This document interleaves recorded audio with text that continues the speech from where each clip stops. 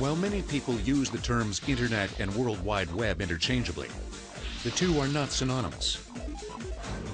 The Internet connects small computer networks to larger networks, and finally to a global system of computer networks around the world.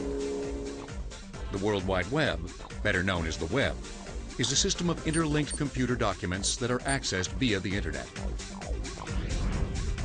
While the web is a large portion of the Internet, the Internet is also used for email, instant messaging, and file transfer.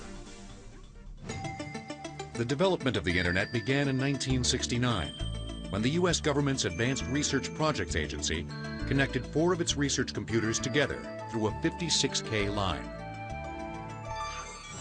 21 years later, in the fall of 1990, there were 313,000 computers connected on the Internet. But the U.S. government restricted the use of this primitive Internet to research purposes only. And unlike the graphics-laden environment we take for granted today, the screen interface was a blank slate that required expert knowledge of text command. The World Wide Web changed all that. While working at the European Organization for Nuclear Research, or CERN, British scientist Tim Berners-Lee saw the need for a user-friendly system for sharing information across the Internet. By combining hypertext, computer documents that link together, with the Internet, Berners-Lee created the Hypertext Transfer Protocol, or HTTP, and coined the term World Wide Web.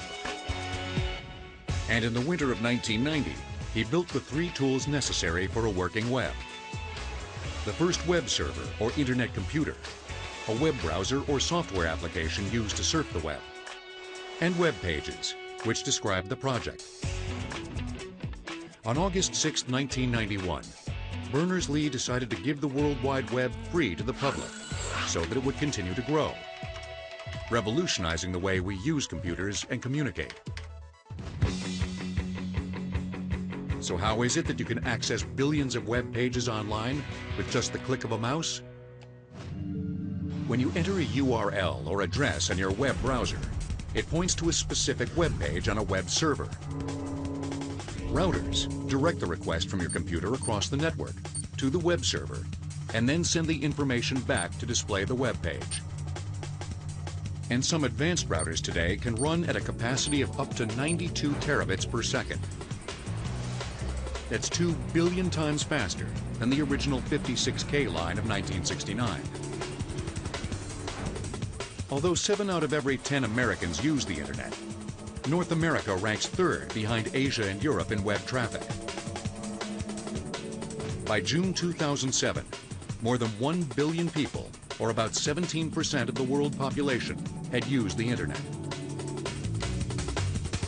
Imagine when that number grows to 50% or 80% or 90% of global population sharing their lives, sharing experience, sharing knowledge, sharing information. It fundamentally changes how we are as a society. While the web browser was the gateway to a world of information, you still needed to know the web address to access it. So what if you didn't know the address?